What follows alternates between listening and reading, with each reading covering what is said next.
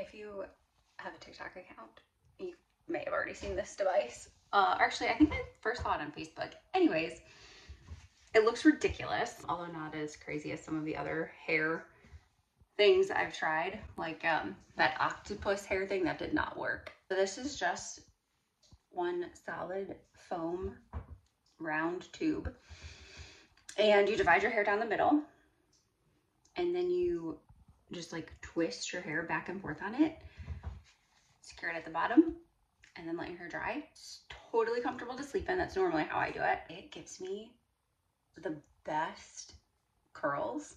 It takes me less than two minutes for sure. Do not have time right now to do my hair. And so you've probably noticed 90% of the time it's just like piled on my head, which I have so much hair, it gives me headaches. You can find it for like $5.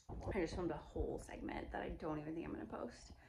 Uh, my hair is wild. I have not done anything with it. I got up and I pulled my little curler out of it and that's it. This is what we have. This is what we're working with. Trust me when I tell you that with like two minutes of effort, it's gonna look amazing. And I love that curler. It's a really gloomy day outside right now. It's supposed to rain and even though I have a ton of stuff I wanna be doing, gardening and everything outdoors. I sort of like this excuse sometimes. So Huxley and I are just sitting here. Hello. What are you doing? uh, drinking coffee. He's not eating the breakfast I made him.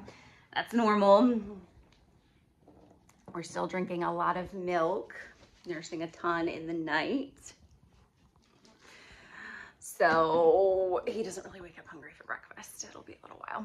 I was plotting out what I need to film going forward because I think I've used up kind of all of the clips of stuff that you've not seen yet while I was gone. And so I have a ton of animals that I realize you guys have not met. So we definitely need to get you caught up. I think I may even do that in this video actually. So that's gonna kind of be my goal for the day. And then I have the AC guy coming around, well, it said between noon and seven. Ugh, you can't have coffee. Like what kind of time frame is that? Good thing I don't have anything else going on today. So they're coming because for the second year in a row, when we've gone to turn on our AC for the first time, the upstairs unit just doesn't turn on, It doesn't fire up. It's like 80 something degrees up there. I need to run errands, but I might just have Ben do it he he's like my postmate um because of course we don't have anything like that. We can't even get a pizza delivered where we live. Since he works in town a lot of times it's easier. I just send him or i'll even do like a pickup order and he just picks it all up on his way home and brings it here. So i might do that. I need a lot of stuff for my gardening. Oh oh huxley. Uh-uh. You can hit the ground but pay attention. Whack the cat in the head. I know he loves thinks you're playing with him. So, uh, since we're sitting here, you know what? Let's just, ah, careful. Let's just go ahead and talk about two of them. Both of them, hello. We have two more cats, two more indoor cats. And they are Persians. They look like Mac. In fact, um, I have trouble telling them apart. I have to keep collars on them. Huxley can do anything to these cats and they love it. It's ridiculous. Also, you're not supposed to be on the table, so I just realized, hello, you're not even supposed to be up here. That's why you, bad boy. These are, yeah, two of the new pets. And they were given to us uh, after the owner found out they're both deaf.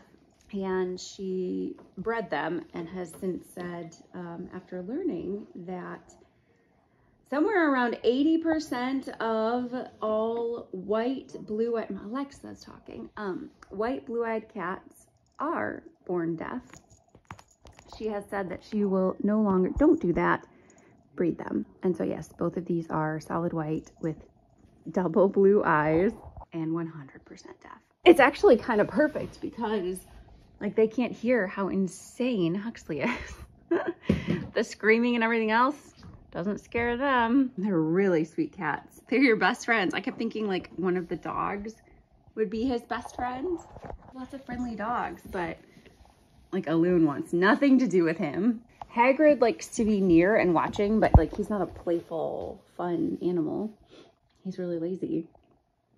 So Huxley's favorite by far are these two cats. it's just hilarious to me. They play with him. Yep, see like that? They play with his toys. They chase him. He chases them. That's what he's trying to get him to do right now. Back and forth. Chase me, chase me. What are you doing? Kitty, go get him.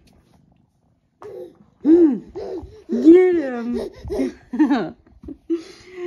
uh, so they've been here for a couple months. Buyer beware. Persians in particular seem to be a higher percentage if you ask me. If you'll remember, Mac is at least half Persian um, and was just given to us in a parking lot. I feel like people question sometimes some of the animals we take in. How did you rescue that? Uh, you know, that's an expensive animal. People pay a lot for that. I remember getting some comments um, like that, even about like the Silkie chickens. You know, the people buy those. They do, except it was banned at the time that this person had like hundreds of them trying to get rid of. I don't know, just stuff like that where I don't think, unless you're like deep into the pet industry and animal rescue world, I do think people are kind of ignorant to how many animals, regardless of their breed, regardless of their theoretical worth, end up needing homes or worse. I mean, being abandoned or neglected or whatever. And it is shocking. And I think I was even surprised. Yeah when I got into it and discovered. So this is one example of it. We have beautiful, purebred, amazing Persians that were just given to us because they're deaf. Anyways, the new cats. Two down. One, two, three, four, five, six, seven, eight, nine, ten, eleven, twelve, thirteen. 14, 15, 16, 17, 18, 19. Oh yeah, 21, 20, 20, 21 animals. Oh, you haven't met. I better get busy. Hmm. Hmm.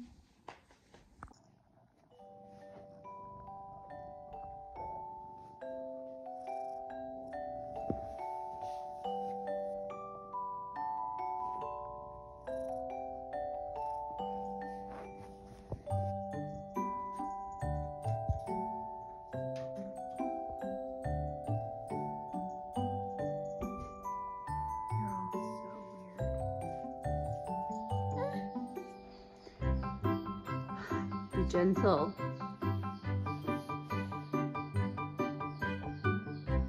Huxley.